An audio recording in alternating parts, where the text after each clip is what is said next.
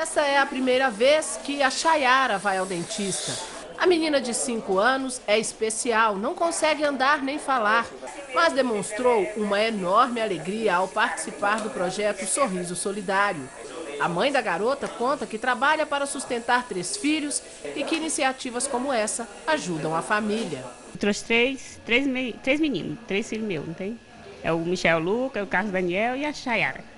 Além de ser atendida pelo dentista, Chayara recebeu um lanche preparado pelos voluntários do projeto, um kit de higiene bucal e escolheu brinquedos e roupas para levar para casa.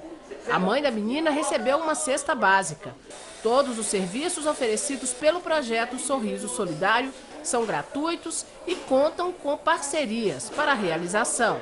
Hoje, a saúde bucal, a estética, é o alavanque para a criança para o futuro, para ele ter um bem-estar social melhor. Neste sábado, foram atendidas dezenas de crianças no Instituto Ricardo Chimada. Elas foram indicadas pelos voluntários e parceiros. São famílias carentes que não têm condições de pagar um tratamento odontológico. A alegria da garotada estava refletida nas mães. Foi o atendimento melhor que eu tive até hoje na vida. Marcos Vinícius tem 12 anos. O garoto quebrou um dente ao cair de uma bicicleta. Passou vários dias pedindo à mãe para levar ao dentista, mas a família não tinha condições de pagar um implante. Ao ser indicado para participar do projeto, o garoto veio da cidade de Caldazinha para ser atendido e agora pode voltar a sorrir. Trazendo a, a, o sorriso dele de volta, traz a minha felicidade, a família toda.